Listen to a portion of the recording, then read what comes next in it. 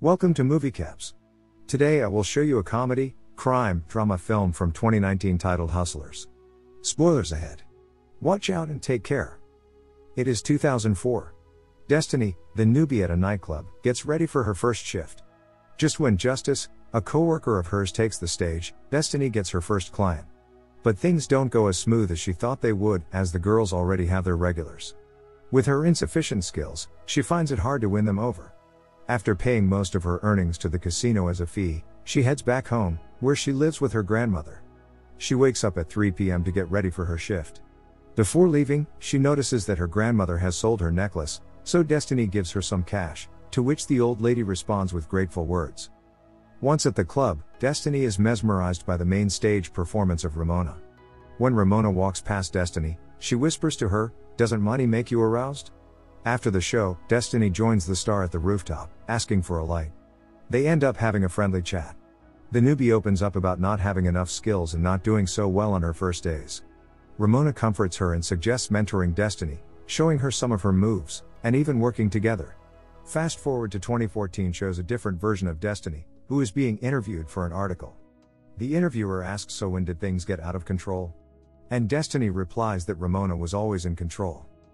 Back to 2004, on the following day, before customers barge in, Ramona teaches Destiny how to pole dance.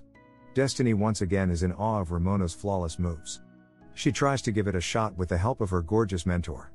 When they are both catching their breath and laughing, Diamond gets in. Ramona introduces her to Destiny and suggests she teaches the newbie how to give a proper lap dance.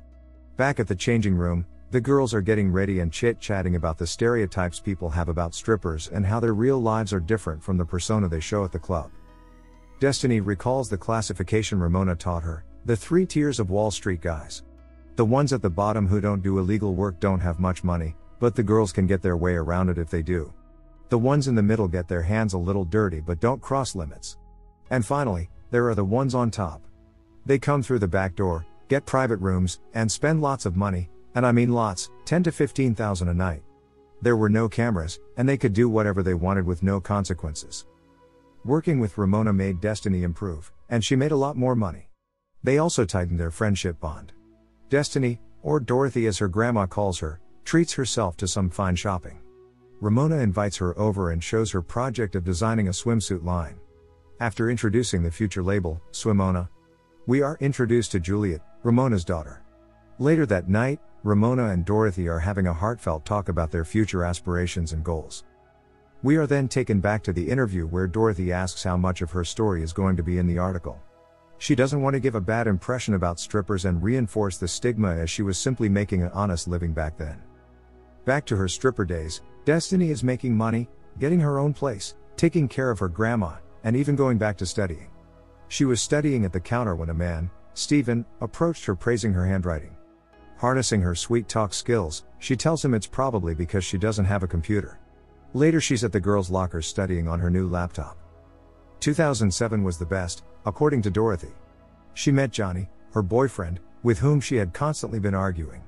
She was making more money than Wall Street guys. Even managed to buy her first car. The last great night that Dorothy remembers was when Usher walked in. Everyone was dancing on the stage. Then 2008 happened.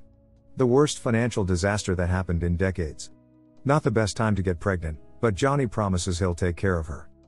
Two and a half years later, it's 2011 and Dorothy has a daughter, Lily. A final argument made the angry mother kick Johnny out and she was left alone with her daughter, no job at hand. She tried calling Stephen, the tech guy who offered her a computer back in the glory days. But it turns out he now has a family of his own. And so she crossed out the last person on her ex client's list that is of no help now. Dorothy tries applying for a job at retail but to no avail. She falls into the vicious we want employees with experience, but we can't give you that experience loop. And so she's obliged to go back to the club that has changed a lot. All her friends left, and the new girls are rude. The club is more than empty. Even the house mom ended up in customer service. The customers don't want to spend money and the new girls do what they're not supposed to do to get the cash. Destiny is put in a situation where she abides by a request for cash. She feels disgusted with herself, especially when she realizes that she was scammed. The client didn't give her the promised amount. Devastated, Destiny leaves the champagne room and goes back into the club, when she sees her best friend she lost touch with years ago, Ramona. The two friends catch up over a cup of coffee and Ramona tells Dorothy what she has been up to since the crisis started.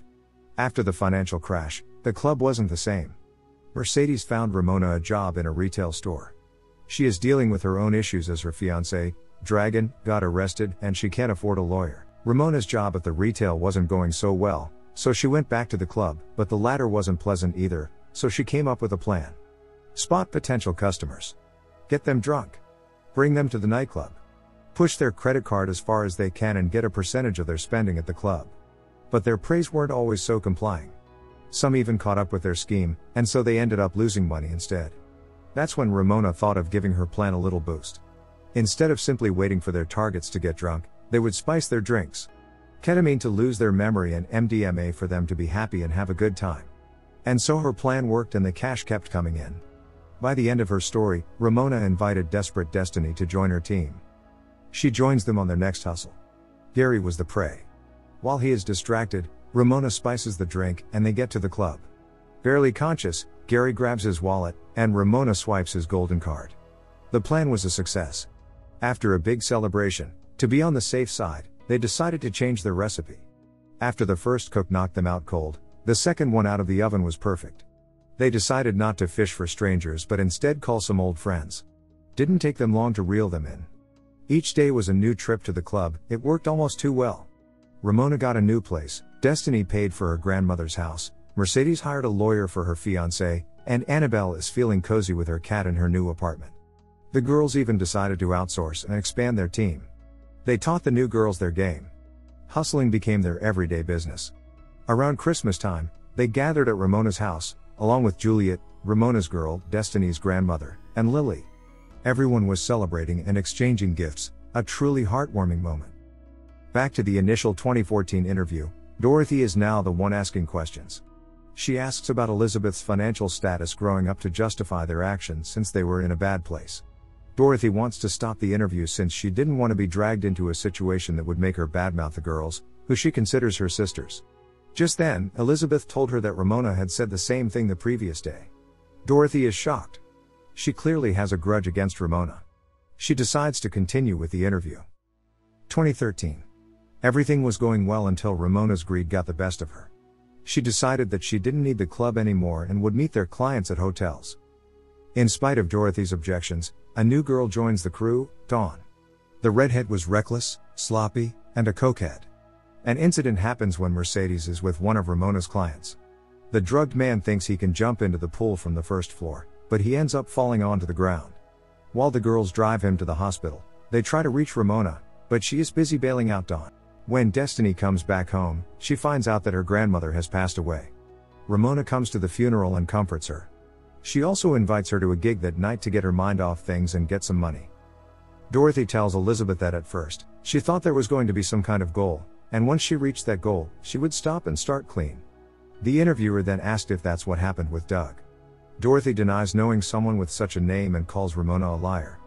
Elizabeth goes further into unraveling what Ramona said about Dorothy. Mainly that Dorothy didn't just do it for revenge, but she was trying to make friends. Her mom left her at her grandmother's and ran away. This made her have it tough. When Elizabeth asked what happened between Ramona and her, she turned off the recording tape and showed Elizabeth off. Once Elizabeth arrives home, she gets a call from Dorothy, who starts telling her the story. Ramona met Doug years ago, he had some family issues, and his friend brought him to the club to feel better. Destiny had a heartfelt talk with him, but to Ramona, he was just another target. The girls ended up maxing out his company's card and so he was fired. Doug called Destiny asking for his money back since he can't afford to pay his mortgage. When Ramona notices that Destiny starts showing compassion, she wrestles her down and snatches the phone, hanging up. Doug filed a police report since he had voice recordings from the reckless Dawn, who spilled the beans when drunk. Dawn was asked to help the cops with a sting operation by wearing a wire. Dorothy sensed that something was off and when telling that to Ramona in the car, she just says she is paranoid. Police had no leads because none of the victimized men wanted to confess, they were ashamed. In a newspaper, there was an article about an architect who had racked up a $135,000 bill, after four nights of pleasure he couldn't even remember. Yes, he went back three more times. And so the girls were brought to the station. Ramona, while withdrawing the money. Mercedes, while visiting her fiance in prison. Annabelle, while in her apartment, and Dorothy at her home. Dorothy accepted the police's deal to guarantee a safer future for her daughter, Lily. Months after the interview, pregnant Elizabeth receives a call from Dorothy and asks about Ramona and what she truly said about her.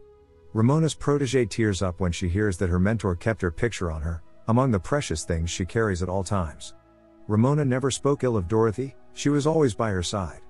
Elizabeth suggests that she should give her a call. Destiny pled guilty to grand larceny and attempted assault in exchange for zero jail time.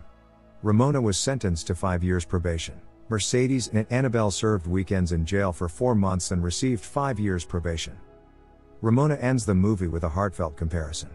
The whole country is a nightclub, with some people throwing the money and others doing the dance. Everybody's hustling. The end. Thank you for watching. Subscribe if you'd like to see more videos like this.